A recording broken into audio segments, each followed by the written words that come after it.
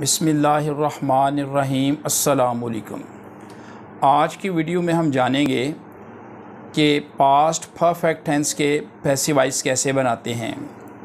तो चलिए शुरुआत करते हैं। अगर इस टेंस के सेंटेंसेस सिंपल फॉर्म में हों तो फ़र्स्ट ऑफ़ ऑल हम सब्जेक्ट को लिखते हैं। ये सब्जेक्ट वही है जो एक्टिवाइज सेंटेंसेस में ऑब्जेक्ट की प्लेस पर था। लेकिन जब हम सेंटेंस को फैसिवाइज फॉर्म में लिखते हैं तो ऑब्जेक्ट को हम सब्जेक्ट की प्लेस पर लिख लेते हैं। सब्जेक्ट के बाद हम इसमें जो हेल्पिंग वर्ब है, वो हैड बिन लगाएँगे और उसके बाद वर्ब की सर्ड फॉर्म ये बात भी अच्छी तरह जहन नशीन कर लें कि फैसिवाइज सेंटेंसेस में हमेशा वर्ब की third form past participle form लगाते हैं। और अगर सेंटेंस में हमें सब्जेक्ट डूअर फ़ाइल दिया हो तो जब हम उसको ऑब्जेक्ट की प्लेस पर लिखते हैं तो उसको ऑब्जेक्टिव फॉर्म में लिखते हैं और उससे पहले बाई लगाते हैं। आइए कुछ एग्ज़ाम्पल्स के साथ अपनी इस बात को वाजे करते हैं। फ़र्स्ट सेंटेंस है ही हैड बॉट बुक्स वो किताबें ख़रीद चुका था। ये फास्ट परफेक्ट टेंस का एक्टिव वाइज सेंटेंस है। इसको जब हम पैसिवाइज फॉर्म में चेंज करेंगे तो कुछ यूँ लिखेंगे books had been put by him जब हम सेंटेंस को पैसिवाइज फॉर्म में तब्दील करते हैं तो ऑब्जेक्ट को हम सब्जेक्ट की प्लेस पर लिख लेते हैं। क्योंकि he had put books books जो था, ये सेंटेंस में ऑब्जेक्ट था जब हमने इसको फैसिवाइज फॉर्म में लिखा तो उसको हमने ही की प्लेस पर लिख लिया, यानी सब्जेक्ट की प्लेस पर लिखा।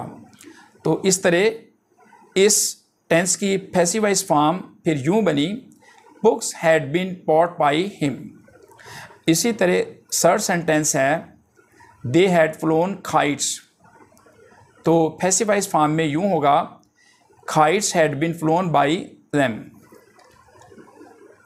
she had written a story. A story had been written by her. Mother had washed the clothes. The clothes had been washed by mother. Interrogative sentences.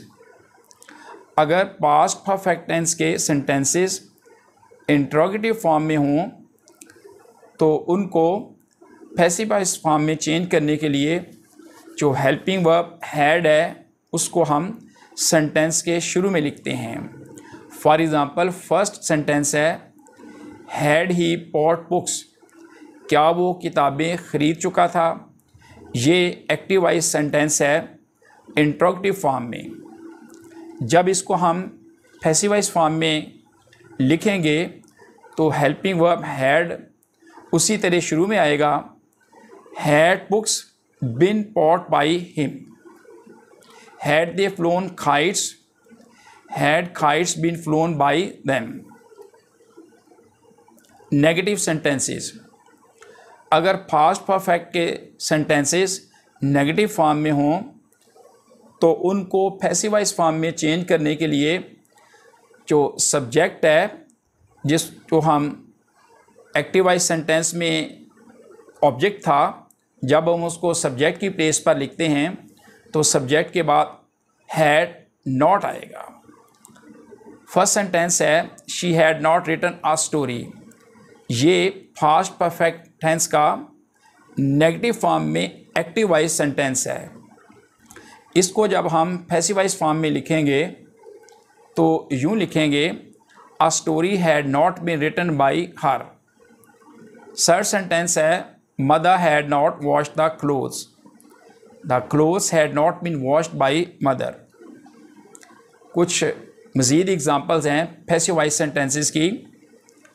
The police had been called before procession started the office had been close before two o'clock the work had been completed before time had the match been played before the referee came? Had you been cheated before this? Where had the flowers been thrown before they withered? Had the moon not been seen before Monday, the lamps had been lighted before evening. Why had the sheep not been chased before it got dark? The meat had been roasted before I reached home. The village had been vacated before the flood came. Had the house been whitewashed before the owner came.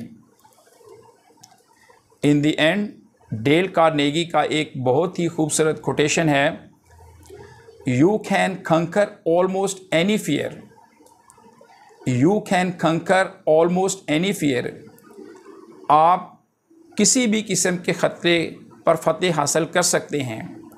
यानी किसी किस्म का भी खौफ हो, ख़तरा हो तो तकरीबन किसी किस्म का भी खौफ हो तो आप उस पर फतेह हासिल कर सकते हैं।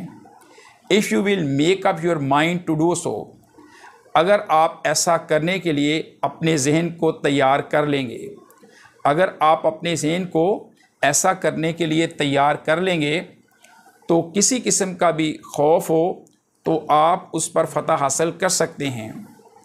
फॉर रिमेंबर क्योंकि याद रखें fear doesn't exist anywhere खौफ कहीं मौजूद नहीं होता।